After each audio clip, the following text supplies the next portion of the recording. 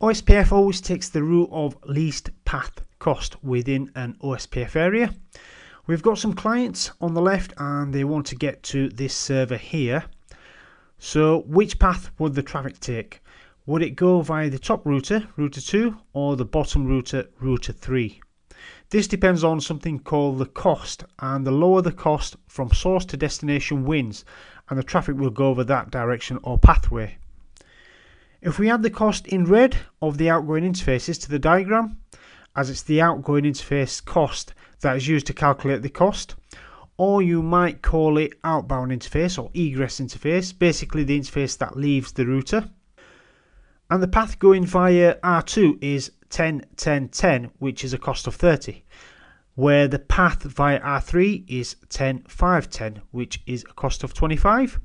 So the path via R3 wins, and the traffic will traverse via R3. So with OSPF, the routers take the shortest path, and that's where the name comes from, open shortest path first. And why would the router prefer R3 over R2? Well, this is to do with the speed of the link. We can see between router R1 and R2 it may be a 1 gig link whereas the link between R1 and R3 is a 10 gig link so it's half the cost. The cost is reduced based on the link speed. And the reason R1 knew about the costs of these other routers is because they exchange information with each other through link state advertisements within OSPF area, as OSPF is a link state protocol, and from the advertisements, each router builds something called a link state database, which is all of the information about the other routers. And this includes things like the cost of the links and the networks behind the links.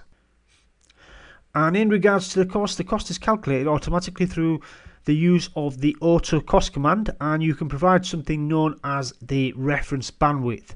By default, OSPF recognizes anything more than 100 meg as a cost of 1, but with the latest technology in fiber cabling and interface speeds exceeding 100 gig in today's world, I think possibly exceeding 400 gig if I'm not mistaken, that's going to be an issue as everything above 100 meg will have the same cost when using the auto cost feature. So the reference bandwidth needs to be increased as you don't want a 1 gig per second link and a 40 gig per second link to both have the same cost of one. As with that, then OSPF is not going to be able to work out which is the faster and the preferred path, so it needs to be adjusted based on the maximum link speed you have in your network. But we can also do this manually. We can configure the costs manually, the costs of the interfaces by using the IP OSPF cost command and then specifying the cost of the interface. And there's a third way of manipulating the cost as well. So you can manipulate the bandwidth of the interface directly, which will change the cost by using the bandwidth command.